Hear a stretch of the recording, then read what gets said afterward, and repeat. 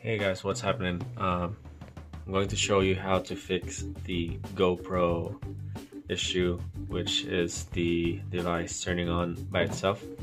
So the manual updating of your GoPro Hero 8 version instead of doing it through the Wi-Fi. I believe that I did that before it was version 1.6. So go go to gopro.com slash update.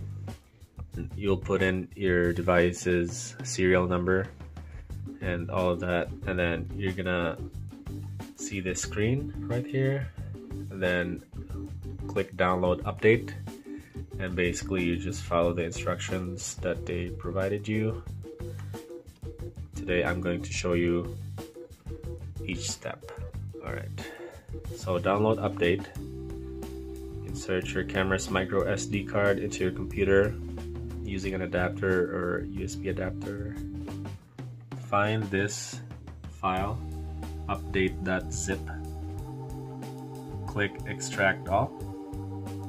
Once you've done that you will see two folders. Update and update.zip and then after that you are going to drag the update folder into your removable uh, disk that would be the GoPro itself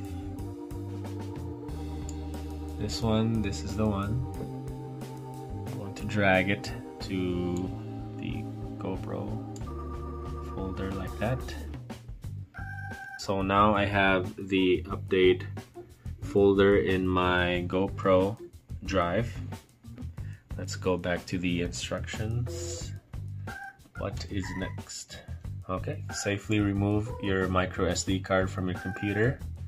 Install the update on your camera.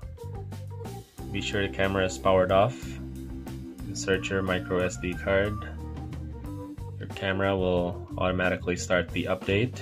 It will beep and turn itself off and on several times, then a check mark will be on the front screen to let you know that it's done.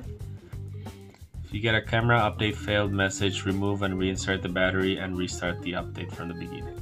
Alright, so I'm gonna safely re remove the SD card.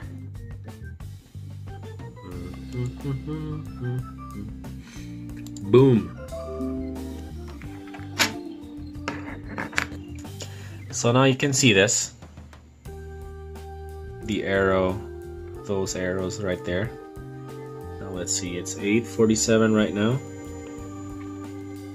See how long this will take. Alright. Alright, update complete, check mark over there. You only did it for about a minute. Nice. And let's see if it's fixed. Let's see if it turns back on by itself.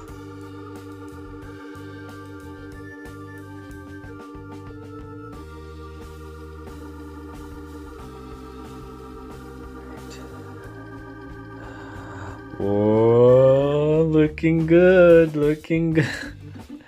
there you have it, guys. So that's how you fix it. It works. It's fixed. All right, thanks for watching.